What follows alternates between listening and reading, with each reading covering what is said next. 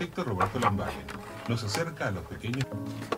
Y son las 9 y 17 minutos y estamos recibiendo en el estudio de Tormenta de Cerebros a Roberto Lambagen. ¿Cómo estás, Roberto? Buen día, ¿qué tal, Carlos? ¿Ya instalaste todo tu equipamiento? Te- tengo todo, todo acá pronto. Ayudas audiovisuales, por Exacto. lo menos visuales. Y sí, porque vi- El audio es tuyo. cu- cuando tengo que hablar de la imagen, eh, tengo que mirar un poco la, Claro, ¿no? claro. ¿Y cuál es tu el- el- el- la imagen de hoy? Y la imagen de hoy es un árbol, una casa y un médico. Ah, bien, bien. Es una, una imagen que tiene distintas partes. Es Está un collage. Eh, ¿Por qué? Porque es una casa hecha de alguna manera eh, con una presencia muy fuerte de un árbol, que vamos a ver qué, qué pasa con ese árbol. Es una casa y eh, se la, es un encargo que le pide un médico a eh, nada más ni nada menos que a Le Corbusier. O sea que es una casa de autor. El señor este, que se llamaba el doctor Curuchet, que era un cirujano argentino, eh, se sacó las ganas de pedirle una casa a Le Corbusier. Y Le Corbusier, que en ese momento estaba en París, era un sesentón, 62 años tenía, estamos hablando del año 49, eh, le diseñó la casa. Es una especie de diseño a distancia, diríamos hoy. Ah, él no estuvo. No, no, que, que- que se sepa no estuvo. Eh, hay toda una, una cuestión ahí con, con el prestigio de quien le pide a quien, ¿no? Porque Curchet tampoco era cualquier médico, ¿no? Claro, sí. Y es muy, muy gracioso algo porque dice que el, Le Corbusier le dice que es una casa de costo medio para una familia con dos hijas. Y bueno, después viste están todos los temas. ¿Y qué, quiero, qué quiso decir con el costo medio? ¿no? Y si este señor, porque en realidad parte de los problemas son económicos, como siempre pasa en las obras, ¿no? ¿Qué le voy a contar? no? Usted ya sabe. Y el, el asunto es que Le Corbusier nunca vino, él lo contactó, eh, lo cual suponemos que ya sabía este Curuchet que Le Corbusier era una persona de prestigio, como, como si vos vas a un, no sé, un modisto, en la, en la época ibas a, a Coco Chanel y le pedías que para el- el- el- el- tu boda te hiciera todo el diseño del Pero él ya había estado en el Río Sí, había estado, había estado en el año 29. sí. O sea, era, era conocido, además era, eh, era como un baluarte de, de- de esa idea de, de cambio. Y Curuchet dice, porque después, claro, cuando la casa se hace famosa, hoy la casa es un museo, viste que estas casas terminan siendo... Claro. Sí. Vivió poco tiempo este señor en la casa, vivió menos de, de 10 años, cerca de 9 años, ¿no? La casa demoró un tiempo en hacerse.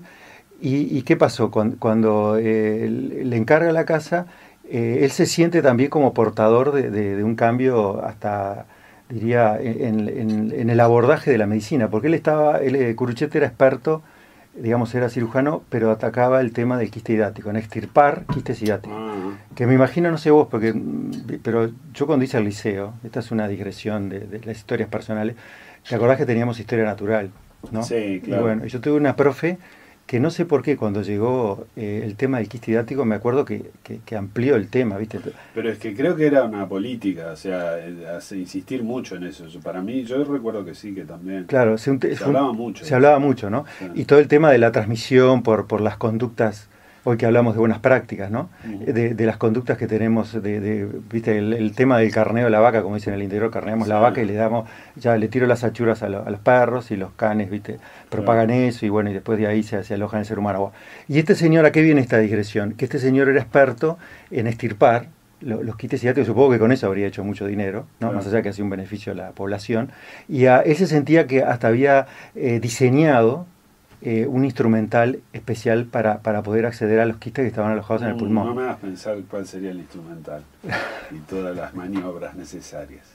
Entonces, claro, es la casa eh, para el médico, ¿verdad? Eh, En la ciudad de La Plata estamos hablando, ¿no? Porque hasta ahora no dijimos dónde estaba, en La Plata.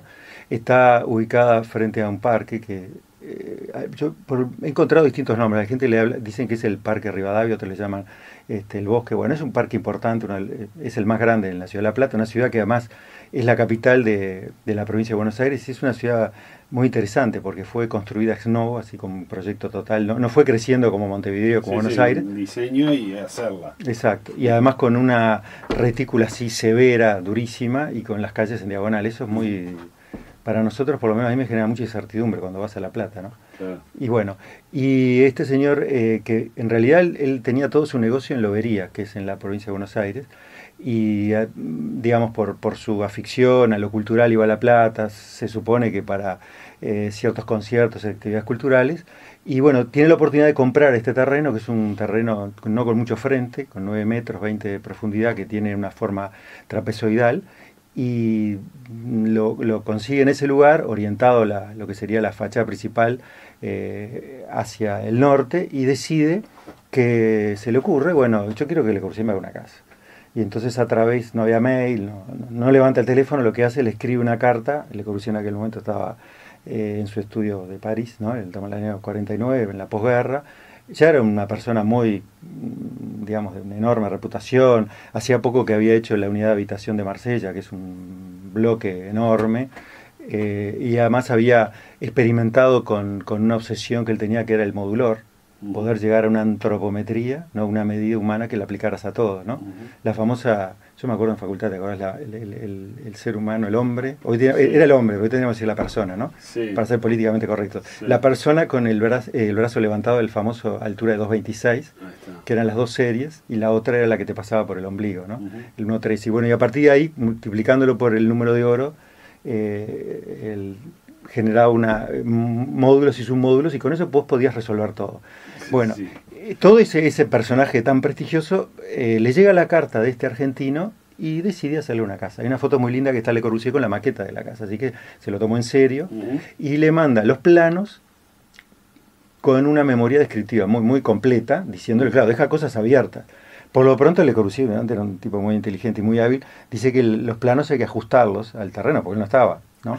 Y le recomienda que, digamos, o le sugiere de una manera muy directa que lo haga con Amancio Williams, que era un arquitecto argentino muy importante, muy cercano también al pensamiento de, Le Corbusier.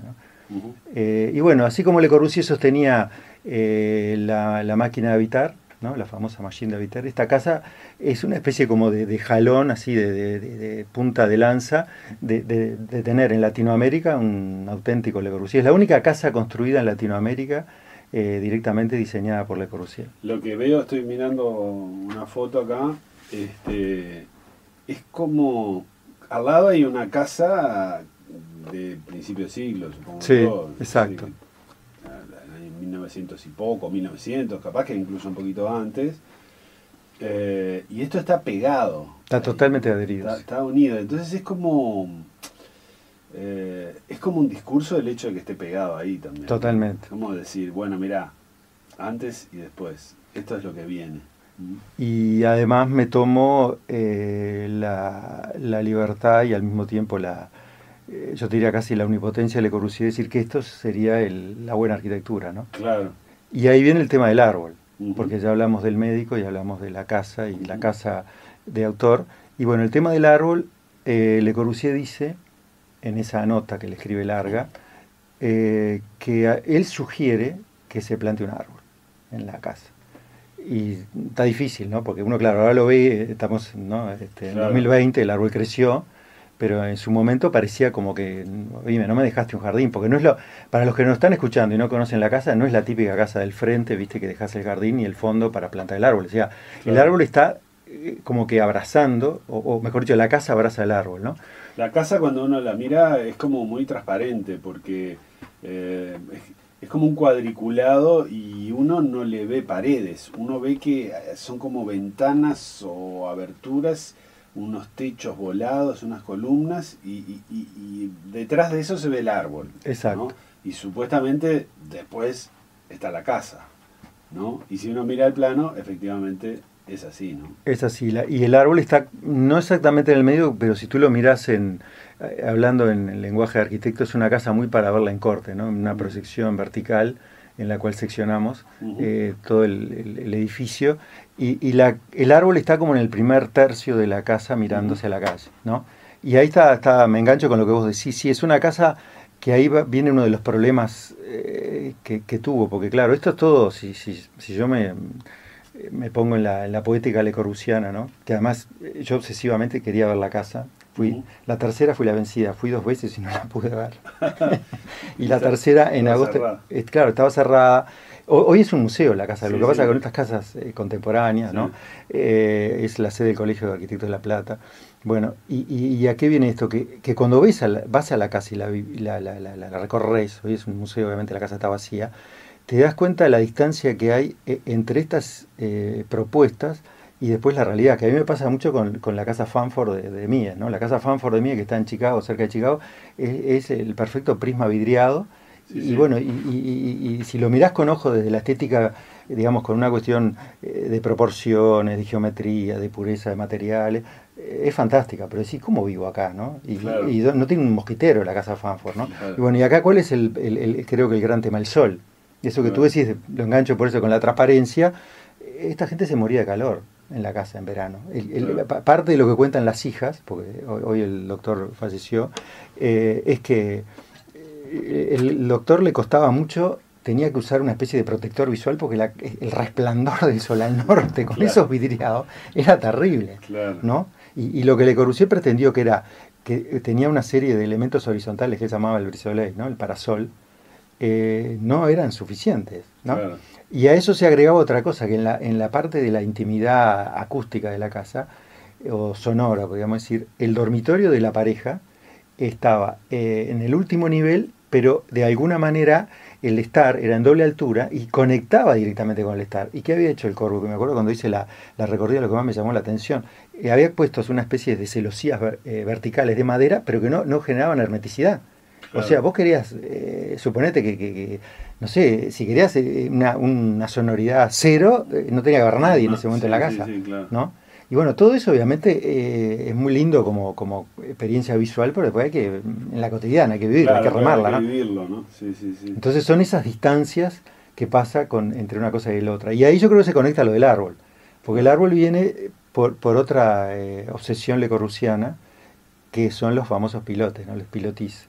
O sea, la casa está toda, es, eh, desde el punto de vista del, del soporte, apoyada en unas columnas cilíndricas, que es lo que Le Corbusier llamaba los pilotes, los pilotis, el nombre, la palabra pilotis se usa para muchas cosas, Ujú. y el árbol ha sido como una versión, digamos, entre el pilote natural y el pilote artificial, que sería el, Ujú. el de hormigón, ¿no? Y el, el doctor Courgette se ve que era muy cuidadoso en muchas cosas, eh, se contacta con eh, agrónomos, botánicos y decide plantar un álamo. Que- Claro, está bien, porque tiene poco espacio, entonces Exacto. necesita algo que tenga follaje pero que no se abra demasiado, que Eh, sea más bien vertical. Más bien vertical. ¿no? Y cuando estás en, en el, en el piso de la terraza, que es lo que se ve más desde la calle, el, el árbol ha crecido ahora, ¿no? Que pasaron 50 años y pico, y, y aparece como tres divisiones, como tres ramazones, y realmente, claro, yo lo vi en, en- en agosto, pero realmente de- debe estar este, muy bueno eso cuando, cuando pues es un árbol de, de hoja caduca, ¿no? Cuando, cuando eh, tenga las hojas, ¿no? O sea que de alguna manera genera esa especie de jardín colgante ahí arriba que, que está soportado, es Que también tiene que ver con esa idea de Le Corbusier de poner este, eh, lo verde eh, en el edificio, digamos, por lo menos lo- los edifi- el- las unidades grandes, ¿no? Tipo Malvin Norte, digamos, para que Mm. Exacto. la gente ubique. Arriba tenía un jardín. arriba tiene un jardín. Este, Claro, es como si los bloques de Parque Posadas arriba todos tuvieran un- una azotea que Ahí fuera usable para todos y además ahí planteaba, un- proponía Le Corbusier, que es lo de la unidad de habitación, con una visión también muy colectivista, una zona de juego, lo que hoy llamamos en, eh, eh, generalmente en los edificios el, el espacio de, de usos múltiples. El Sí, Zoom, sí, él lo planteaba arriba, Claro. que también hubiera como un servicio de guardería. Era una visión muy utópica también de la sociedad, Sí, ¿no? sí, bueno, que también en esa época, lo- en la Unión Soviética, se hacía. Hace poco vi, hace pocos años, vi un, eh, un, un libro que recupera una cantidad de edificios que todavía se mantienen y que no, no- no se sabía. Este, y hay algunos edificios que son notables porque, por ejemplo, los apartamentos no tienen cocina. Porque la manera que habían encontrado de que las mujeres no cocinaran, porque igual tenían que trabajar en la fábrica, pero igual por esa costumbre ancestral, cuando tenían cocina, cocinaban, era no ponerles cocina. Entonces había una cocina común para todos los, los- los apartamentos eh, abajo, ¿no? Eh, Era notable, se pensaba en ese tipo de cosas, ¿no? Bueno, pues está, se dejó de hacer, pero era la época en que, en que justamente se pensaba en eso, ¿no? En ese colectivismo. Exacto, y además cómo, y los rusos y todo el mundo. cómo generar, eh, inducir la conducta. Claro. de alguna manera, que, que es para mí la, la mejor interpretación de la máquina Vitar, porque la máquina Vitar se, se ha dicho mucha cosa, Sí. eh, se le ha pegado duro a Le Corbusier, también yo me sumo a los que le pegan, Sí. pero en algunas cosas, pero eh, es decir, ese tema de la eficiencia maquinal, que es cierto, nosotros no habitamos las máquinas, no habitamos los autos, ¿no? Claro. Como dice Heider, para residir tenés que de alguna manera apropiarte. Pero, eh, ¿qué, qué pretendía esa, pa- esa parte? Bueno, inducir una conducta que él creía que era la correcta. Es decir, eh, acá hay un deber ser. Eh, claramente eh, te está diciendo el, el cuál, cuál es la, la di- la dirección hacia dónde tenés que caminar. Que ¿no? tiene mucho que ver con el movimiento moderno y esa cosa mesiánica de, de los grandes maestros que decir, no, no es que yo no te vengo a resolver un problema, te vengo a decir cómo se vive, ¿no? Algo así, ¿no? Siendo un poquito malo con ellos, ¿no? La verdad que, que no era tan tan caricaturesco, pero bastante. sí. Eh, sí, está borderline, digamos, de alguna manera eh, eh, está casi ahí. Y bueno, y lo otro que induce Corbu, ¿no? que le decimos la parte la- con cariño, ¿no? Sí. es eh, la circulación, ¿no? La circulación que es como caminás por la casa. La casa eh, es una oportunidad eh, para Le Corbusier, creo yo, para también mostrar una vieja obsesión que era la, lo que él llamaba la promenada arquitectural, o sea, el paseo arquitectural Ujú. que lo hace a través de una rampa. O sea, la casa se estructura también en función de una rampa, que claro, lo podemos ver en un doble, con una doble mirada. Del punto de vista hoy, creo que los que nos están escuchando están pensando, claro, pensó en la accesibilidad, en que no tenés que subir escalones, en cualquiera. No, pero no era así lo que pensaba Corbu. Lo que quería, o lo que proponía Corbu era eh, hacer una rampa para que con ese plano inclinado, con una pendiente suave, tuvieras que caminar obligadamente despacio y contemplaras la contemplación del, de- de- del espacio arquitectural. O sea, Claro. y ahí viene esa idea de que el espacio se disfruta eh, en una relación eh, temporal también. ¿no? No, no tenés que entrar así, boom, sino que de alguna manera tenés que ir lentamente, es como que vas degustando. Es una especie de, de espacio gourmet, digamos, que él te está proponiendo para la degustación. Y bueno, y creo que Curuchet compró todo el paquete, ¿no? Compró el paquete Tengo Casa de Autor, porque obviamente él después Claro. le escribió una carta a Le Corbusier. Es, es muy gracioso, porque siempre se carteaban, ¿no? Agradeciéndole la casa y que él se, se daba cuenta, porque claro, enseguida la conocieron, eh, Casa de Corbusier en la Argentina, estudiantes de arquitectura, arquitectos, y decía, me siento muy eh, halagado por, porque realmente es como que, que le pedía, no sé, a Picasso que me hiciera algo especial para mí, todo el mundo Claro. viene no a ver este, No te viene a visitar, sino... a ver al Picasso. claro.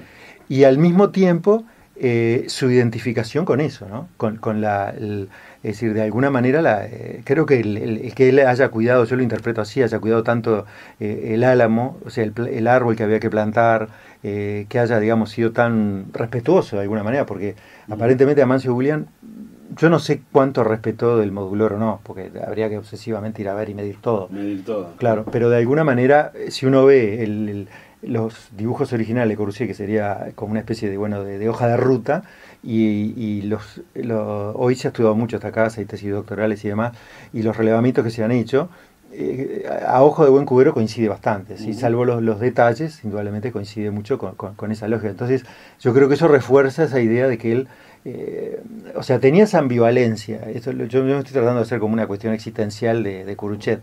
Por un lado, eh, resolví tener eh, como cirujano eh, una, ubicación espléndida de La Plata, una casa de autor.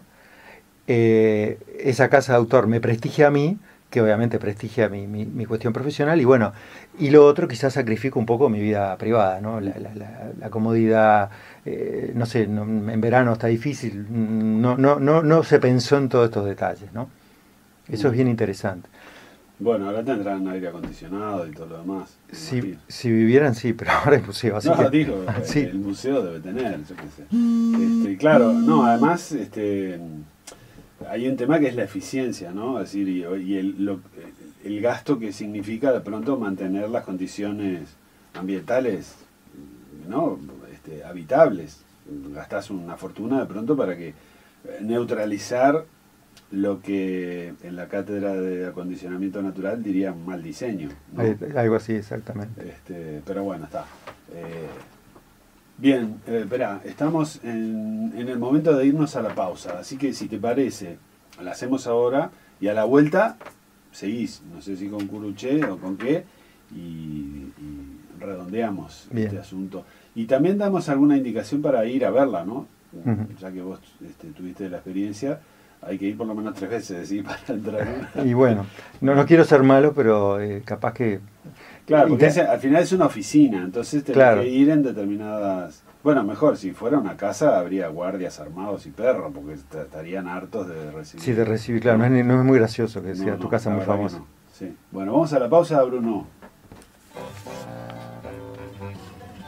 39 minutos, estamos con Roberto Lambaen, imágenes latentes, hablando de la casa que un cirujano argentino de apellido Curuchet mandó hacer eh, a partir de diseños que encargó a Le Corbusier. Que ustedes saben, Le Corbusier era un seudónimo, que nadie sabe bien qué signi- no significa nada, en realidad, este, pero suena a muchas cosas. En fin, bueno, eh, Le Corbusier era ebanista, ¿no? Había estudiado Eh, él había- ebanistería y relojería y cosas que no tienen mucho que ver con la arquitectura, ¿no? Eh, no, es cierto, sí, él- él- no, me quedé enganchado con eh, qué quiere decirle Corbusier, sí, es una pregunta muy difícil de contestar. Sí, Se ha especulado mucho. Él se encargó también de crear Claro, el- ese el- silencio. El, el equívoco y la ambigüedad es genial. Claro. Va generando multiplicidad de significados. Además se ha hablado del cuervo, de los lentes que usaba, esos lentes redondos. Eh, él siempre cuidó, muy atildada. A mí lo que más me gustó de esa imagen pública de Le Corbusier, eh, te estoy hablando cuando era un estudiante de facultad, eh, que no, viste ahora tenés los videos de YouTube, pero cu- Sí. cuando veías las, las fotos de Le Corbusier, como siempre te acordás que él salía con ese traje, con la pajarita, ¿no? Sí, Con la- sí, la Entonces todo eso estaba muy cuidado. Y calculo que el seudónimo también lo habrá pensado muchísimo. Y él no se podía llamar Jean-Edouard Jeanneret, que era, no, eso es terrible, ¿no? Claro. Entonces, Le Corbusier, bueno, es como... Bueno, y, y esto cómo se conecta con... Él era suizo en realidad. Había Claro. nacido en la Chaux de Fonds, que es la parte francófona de Suiza. Que a mí una cosa que no comparto de los libros que dicen el, el arquitecto suizo francés, no, era el arquitecto suizo. Claro. Lo que pasa que era francófono porque los, los- los suizos, eh, alguna parte hablan italiano, la parte más del ticino, el- la mayoría hablan alemán, pero también está la parte francófona. No, bueno, pero la, la verdad es que en el sentido de su desarrollo profesional eh, lo hizo todo o el 90% a partir de Francia, ¿no? Sin duda. Entonces, claro, en ese sentido. Y bueno, la llave Fon es la zona de los, para, para, sí, para el gran público, es la zona de los relojes y de los chocolates. Claro. Y él había estudiado en una escuela que lo que antes se llamaba eh, de artes decorativas. Y ahí sí conocía los oficios y demás. Él no había, no, no, no- tenía estudios formales de arquitectura y lo que hizo eh, como formación fue el famoso viaje. Viste que la, la historia de los viajes y los arquitectos y los arquitectos y los viajes Sí, es un tema interesante. sí. Y él, eh, a partir de eso, eh, digamos, tiene contacto con, por lo menos en lo que él, él manifiesta, ¿no? Eh, Podríamos verlo el otro Le Corbusier, con la arquitectura, eh, sobre todo mediterránea. Él queda muy impactado por el Partenón y la Acrópolis. Bueno, de ahí eh, es su fuente inspiradora para el tema de la promenada. Porque cuando vas a la Claro. Acrópolis hay Hay un recorrido seguro. eh, un recorrido que está muy pautado y creo que también está ese equilibrio que él tiene entre lo que de alguna manera es determinista, que es como un conductismo, bueno, usted la conducta de, de caminar la- eh, tiene que estar por acá, y por otro lado la cuestión visualista, que es una de sus fortalezas, ¿no? Claro. Y bueno, e- esa personalidad de, de Le Corbusier sin duda que, que influye en, en su manera de pensar y de resolver las cosas. Y creo que también se engancha con, con- con lo de Curuchet, porque en la casa, lo que da directamente a la, a la calle, en realidad la, la casa está como filtrada, si otra vez volvemos a, a una mirada desde la calle hacia atrás, es el consultorio. O sea, tú vas por la rampa y la rampa en un momento se detiene y tomás el acceso para la vivienda, que está atrás. Y, y es como arriba. Pero seguís avanzando hacia la calle de nuevo por la rampa, tenés que hacer esa ida y vuelta, y llegás al consultorio. El consultorio se divide en tres partes. Tiene una sala de espera, que eso es lo que está mejor hoy si van a la casa a verla, porque está casi tal cual, ¿verdad? Tiene eh, los muebles incorporados, lo que Le Corbusier llamaba el equipamiento, que está hecho, digamos, con una madera muy cuidada. Eh, después está la sala de operaciones, porque en realidad era un cirujano, que estaba hasta la... la, eh, cuando yo fui estaba la, la mesa de operaciones. Hay, una especie de tarima con el, eh, digamos, el, el- parte del equipamiento, los bisturís, no sé qué que usaba, y tiene una parte de desinfección. Se ve que eso a mí me dio cierta cosa. Dije, este se ve que lavaba y todo acá, ¿no? Supongo que la asepsia sería Sí, sí. ¿no? Vamos a creer que sí. Pero está lleno de quirófanos así, ¿eh? ¿Ah, sí? Ahora, sí, claro, hay pila de intervenciones pequeñas o, digamos, que, que no requieren tampoco un equipamiento muy sofisticado. Yo creo que, claro, en esa época más todavía, ¿no? Más bien. Sacarle la tenia, bueno. Y hacia atrás hay una especie, digamos, de sala, de, de pequeña sala de internación que es para recuperar, supongo que los Claro. pacientes que no podían ser ambulatorios, entonces Sí, tenían que sí, quedarse sí, un tiempo. quedarse un- un tiempo, claro. Bueno, y esa es como la parte pública de la casa. Ahora, vos, vos te ponés frente a la casa, va- vamos a tratar de describirla, y lo que se ve es, eh, es un frente chico, vos decías que eran 9 metros, y, y tiene una columna eh, cilíndrica, esbelta, en el medio, eh, tiene una a cada lado, pero están en el lindero de los vecinos. Y eh, en la mitad, una de las mitades que queda de un lado de la columna tiene el marco, un marco grueso de, para una puerta y eh, de la otra mitad tiene más retraído, más hacia adentro, el garage. El garage. Ahora uno si mira la fachada ve que tiene un- una especie de, de cerco hecho con metal electrosoldado, un cuadriculado, pero obviamente eso no estaba. Entonces uno piensa que la puerta eh, es simplemente la indicación de una puerta. Es una, una cosa para decir, por acá se entra a esta casa y detrás está la rampa. Eso. Efectivamente, sí, la, la puerta es como, como reafirmar eh, el- la posibilidad única de entrada, sobre todo el, Claro. el que va caminando, que tiene por la casa, ¿no? Lo asocio con lo que decías de, de la Acrópolis, ¿no? Bueno, hay una entrada, se entra por ahí, podría uno entrar por muchos lugares, pero la entrada es esta, entrada es el esa. recorrido ritual es este. Es como serían los propileos de la, de la, de la, de que son el, portal de acceso de la casa Cruchet. Eh, lo que ha cambiado también, por ejemplo, que es eh, para los que vayan, donde está el garage, que ahora hay un- una especie de cortina enrollar, no, es una cortina enrollar, ahí donde está la oficina que te recibe y pagas el ticket y no sé Claro, qué. Eso obviamente, esa cortina no, no, no existía, en los- esa, esa tecnología.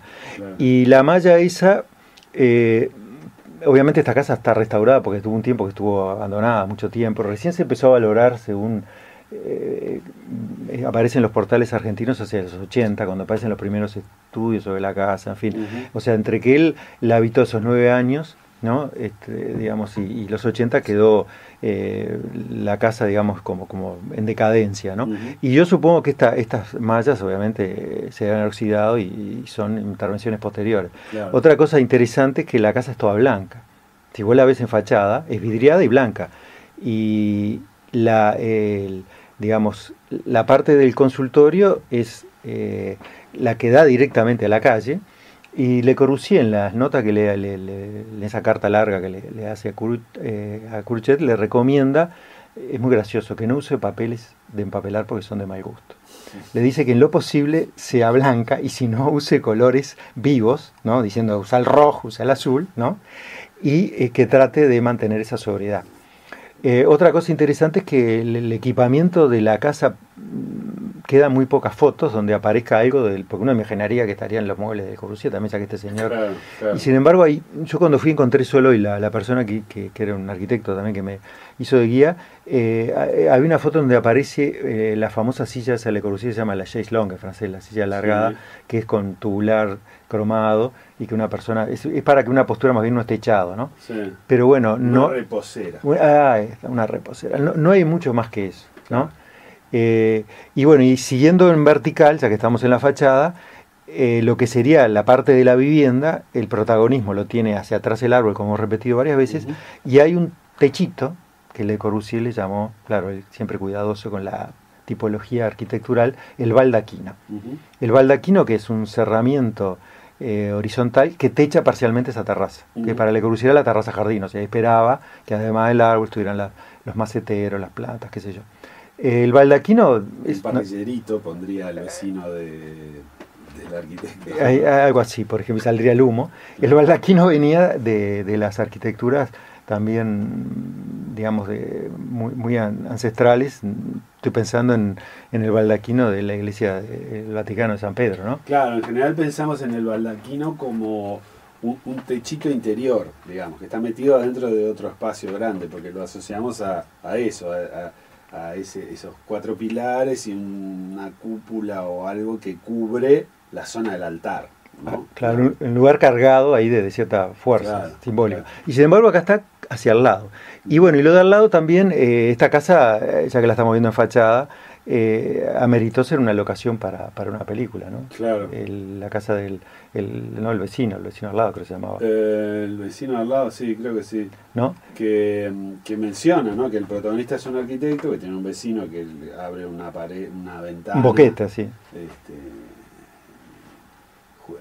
en, un pozo de aire, ¿no? En un lugar que no, que no puede porque es- pertenece al el espacio pertenece a esta casa y debe ser eh, en el patio, claro, en el patio del, del árbol. Ahí ¿no? está, en el patio del árbol. En el patio del árbol. Ahí Y, y, y la casa hacia atrás también tiene, si a- quien haga la visita tiene una parte de servicios en planta baja que hay como una especie de, cal- de caldera, hay un habitáculo también para, para lo que sería el, el personal de servicio, y eso claro, está como muy, muy relegado muy atrás, ¿no? Claro. Y la casa prácticamente está mm, totalmente orientada hacia, hacia la calle, ¿no? hacia, Ujú. hacia, hacia esta plaza abierta. Otra cosa que en la fachada eh, claramente se ve con, con mucha intensidad es que eh, en, en la manera en que Le Corbusier le recomendó, y bueno, Amancio William, y respetó así a rajatablas, se nota que la casa eh, tú, podría desaparecer como los dos laterales y la casa queda en pie, no sé si me explico. Porque Claro. las columnas están claramente separadas de, la, de, de- los bordes, de las medianeras. Bueno, eso era intencional en Le. Corbusier y era la obsesión que él tenía también porque eso permitía que, que ese espacio fuera construido con esos elementos verticales, elementos horizontales y ahí fluyera lo que él llamaba la planta libre, una gran libertad de, que todo lo que fuera la distribución interna eh, se, se moviera a piacere, ¿no? A mí lo que me llama la atención, ahora estoy viendo un, un dibujo este, que muestra en perspectiva Mm. como a vista abuelo de, de paja, ¿no? Eh, porque la, la calle, la línea de, de- de edificación, la línea de la vereda, digamos, corta como en diagonal el terreno. ¿no? No, no es un rectángulo, sino como decías vos, un trapecio. Entonces el frente de la casa no es paralelo a eh, el fondo de la casa. Y, y esto bien podría Le Corbusier, pensando, pensando como pensaría Le Corbusier, es decir, acá mando yo, no haber respetado la línea de la vereda y haber hecho una casa rectangular y que hubiera un espacio de retiro triangular, ¿no? Y no, esto está hecho para seguir la línea de fachada, ¿no? Eso me, me- me llama la atención y me resulta eh, poco característico, me parece, de la personalidad un poco impositiva de, de, de Le Corbusier. ¿Me- ¿Me explico? Sí, sí, totalmente. No sé si, si capaz que es un disparate lo que digo, pero No, yo tratando de interpretar, porque Le Corbusier eh, nunca vio el, el terreno. Claro, ¿Qué, qué- qué insumo? Yo también he pensado bastante eso. ¿Qué insumo tendría Le Corbusier claro, para hacer esta casa? Porque obviamente hoy, por ejemplo, tendríamos, iría el Google Maps, eh, Claro. ¿no? tendría el Street View, ¿no? Se, se supone Sí. que le, eh, le pediría a alguien que le mandara eh, fotos que con cualquier dispositivo móvil sacás. claro. Y, y yo creo eso no se sabe. ¿Qué- qué- Yo no lo sé, por lo menos. Tampoco sabemos quién hizo realmente los planos, ¿no? Porque viste que Le Corbusier era muy de agarrar a, a- a- a los que tenía trabajando para él y le daba un esquemita y le decía, toma, resolvé, ¿no? Sí, sí la, la- la famosa anécdota de que fue Serralta, el arquitecto uruguayo, a trabajar Sí. con Le Corbusier y no sé qué corrección o sugerencia le hizo y Le Corbusier le dice, claro, eso fue parte de las mitologías que repetidas, repetidas, eh, Monsieur l'architecte c'est moi, ¿no? en vez de- como Luis XIV, le c'est moi, bueno, Sí. entonces... Yo me acuerdo Serralta, yo, yo le hice algunas notas a, a, a Serralta y, y él contaba eso, ¿no? Que pasaba Le Corbusier así, con su pajarita y con las manos acá atrás, caminando, mirando cómo trabajaban y cualquier este, cosa que le preguntaban, él hacía un esquemista muy chiquitito y había que arreglarse, estar de pronto una semana interpretando eso y tímidamente después presentar el cosa y el otro aprobaba o no aprobaba, ¿no? Este, Otra cosa bien interesante de la casa son los baños, porque los baños son muy parecidos a, a los baños de la Savoy, que es la, la obra paradigmática del Corbusier de los años 20, eh, que están, digamos, de alguna manera eh, en, en el espacio central de la casa. ¿no? no Ujú. sé, porque uno quizás se lo, yo por lo menos esperaría que estuvieran en otros lugares, no sé, y con unos revestimientos, digamos, eh, con, con pequeñas baldosas muy chicas, y donde también el, el cuidado por, por resolver era con la- un poco la tecnología de esa época, ¿no? Claro. Y, y es- eso se vincula también con otras casas eh, yo esto lo, lo estoy pensando ahora, ya que hablé hoy de Mies van der Rohe, la casa esta de Chicago, la, la que le hizo la doctora Fanford, que también, ot- mirá qué interesante, una casa, una médica también así, una médica psiquiátrica en este caso, psiquiatra en este caso, psiquiátrica, que, que lapso, ¿no? una, una médica psiquiatra. Bueno, después de vivir un tiempo en esa casa y que todos los vecinos se enteraran de todo, quedó así. Quedó así. Y eh, la, la- la otra casa paradigmática de casa de autor que en la, ya estamos hablando de los años 30, es bastante, no tanto, pero un poco anterior a esta, que es la, la Casa de la Cascada, cómo esas casas sobreviven, Frank Lloyd Wright, de ¿no? Frank Lloyd Wright, Unidos. eh, eh, sí, en Pensilvania, ¿no? cómo esas casas sobreviven a- a- al periodo que fueron usadas por sus destinatarios, porque esas tres casas, incluida esta, son museos. Claro. ¿no? Y, por ejemplo, en la, en la Casa de la Cascada eh, está absolutamente recreada la escenografía. Parece que eh, el que vivía, ¿verdad? Este, que Kaufman, la familia Kaufman, se hubiera ido ayer. Ahí está una bandeja con, con- con las copas y la botella de whisky llena hasta la mitad, ¿no? Eh, la casa de Mies es el mobiliario, por supuesto, todo actualizado diríamos hoy, pero el mismo. Y esta casa está vacía, es como una casa que tú podés ir a apreciar, ahora pensando en la visita, ¿no? Más allá de que tiene un horario estricto, creo que... Yo la primera vez intenté verla en verano, me acuerdo estaba cerrada. eh, claro, no, no, no queda nada de la casa, el sentido que, que más que el espacio interior, Sí, el sí, cerramiento, sí. ¿no? Bueno, son hitos y entonces está bien. eh, es- tiene, tiene sentido, ¿no? Claro, uno también se pregunta, bueno, pero ¿funcionarían? ¿Funcionarán? La casa de la cascada creo que sí. Te Sí, pones la- unos tapones en los oídos para no escuchar el ruido del agua todo el tiempo y no volverte psiquiátrico también. Bien. Pero bueno. Y igual si, si me dejan una temporada yo pasaría, ¿no? te Ah, sí, pa, qué lugar. es Qué lugar, el lugar es imponente. Sí, sí, terrible. Hay que construir eso también, ¿no? Bueno. Bueno, muy bien. Hemos llegado al final, Roberto. Este, instar a la gente que si quiere vaya a visitarla, pueden entrar a- internet y, y- y averiguar bien. Hay mucho material. Es- la casa está declarada del 2016 Patrimonio de la Humanidad por eh, la UNESCO. Eh, está en el sitio oficial de la Fundación Le Corbusier con una información detallada. Y en, en internet, en la web, hay mucho material sobre. Porque hay mucho orgullo también nacional No, no, sí, sobre sí, esta casa. que es impresionante la cantidad de Acá tengo un despiezo estructural hasta el último Sí, tornillo. sí. Es No, no, se han hecho estudios, eh, recreaciones digitales. Eh, hay material muy bueno sobre la especulación sobre el árbol. ¿no? Este álamo. Le llaman álamo Mussolini, yo quedé medio impactado. Ah, Porque, mirá. porque aparentemente el álamo eh, venía eh, o se conoció en la Argentina, es una adaptación eh, por, eh, digamos, lo- los italianos de migrantes en la, en la década del Mm. 30, ¿no? que obviamente venían la Italia Mussolini. Y bueno, y, y realmente es, un- es una casa como que hay mucha mm, cariño por ella, que está muy bueno eso, ¿no? Y bueno, es un orgullo también para la ciudad de La Plata, que dicho de paso a paso, viste que somos muy de ir a Buenos Aires los uruguayos, pero Sí. está a 50, 60 kilómetros, eh, hay varias Sí, sí, entonces, maneras fáciles de ir y, La Plata tiene cosas muy interesantes, los museos, la, la- la propia este recorrido que lo hace porque es una ciudad muy amigable en eso. Tienen plátanos parecidos a los de Montevideo, por no Ah, decir lo mismo. bueno, ideal para los Te tomas un café, que el- los cafés porteños, viste, siempre Ah. son... Sí. Y siempre, como dicen los porteños, hay tiempo para tomarse un café. Muy bien, Roberto Lambague, muchas gracias. Nos encontramos en 20 días, más o menos. De acuerdo.